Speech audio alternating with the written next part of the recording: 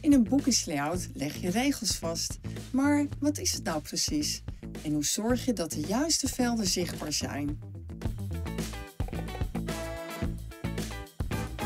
Je gebruikt boekingslayouts voor het vastleggen van boekingsregels op veel verschillende plaatsen in Profit. Boekingslayouts zijn herkenbaar doordat ze altijd eenzelfde soort uiterlijk hebben. Maar het belangrijkste onderdeel is dat je er altijd regels kan opgeven. Ik zal je ze laten zien. Ik open als voorbeeld de boekingslayout van een verkoopfactuur.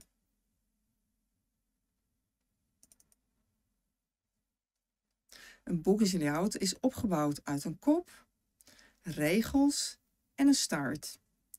Optioneel kun je ook een selectiegedeelte opgeven.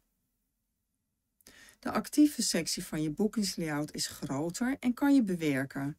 Bij het openen zijn dit eigenlijk altijd de regels. Wil je nou zaken wijzigen in de kop? Klik er dan op. En je ziet dat deze sectie nu blauw wordt en groot in beeld.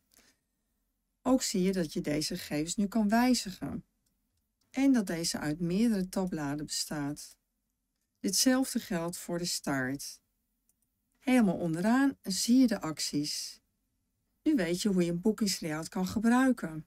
Maar hoe zorg je nou voor dat de boekingslayout zo wordt ingericht dat alle velden en acties zijn zoals jij zelf wilt? Hiervoor sluit ik dit af en ga ik naar Algemeen, Beheer, Boekingslayout.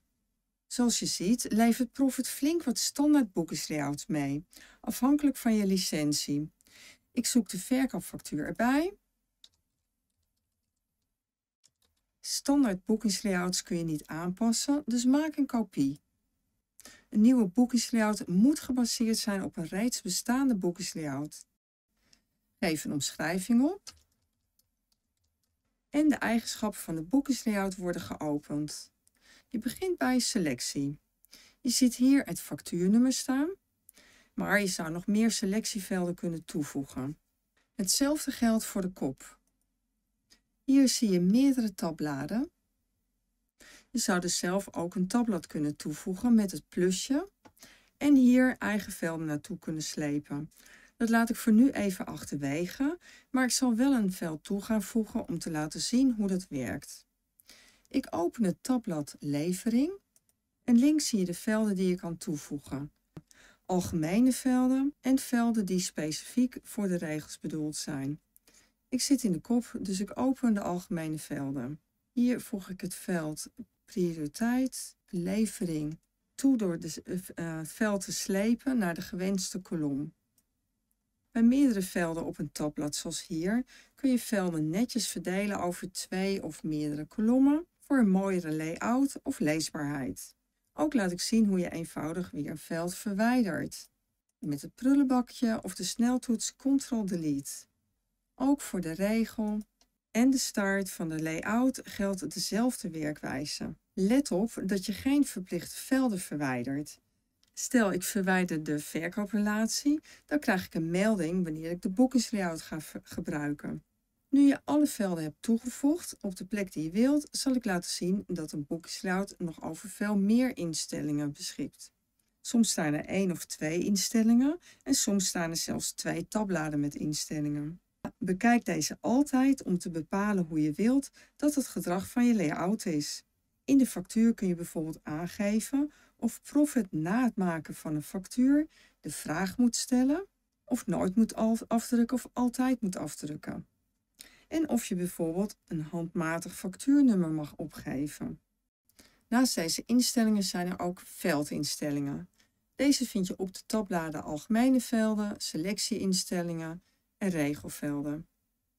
De veldinstellingen zijn precies zoals je deze zal herkennen.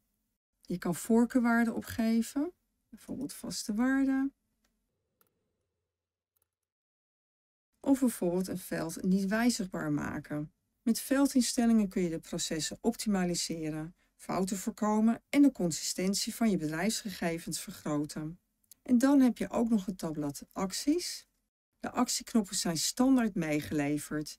Je kunt hier geen actieknoppen toevoegen. Wel kun je ervoor kiezen om actieknoppen onzichtbaar te maken.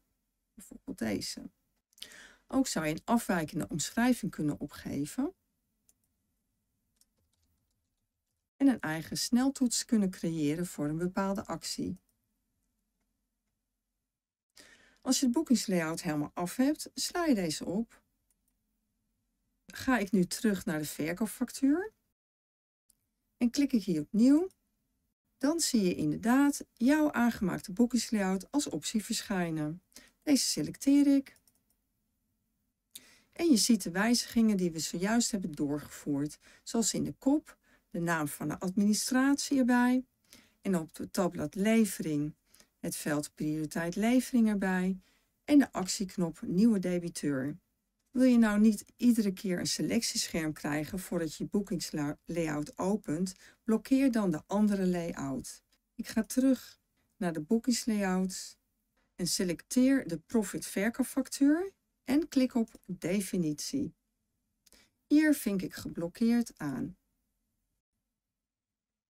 Ga ik nu terug naar de facturen en klik ik opnieuw, dan wordt automatisch mijn nieuwe boekingslayout geopend.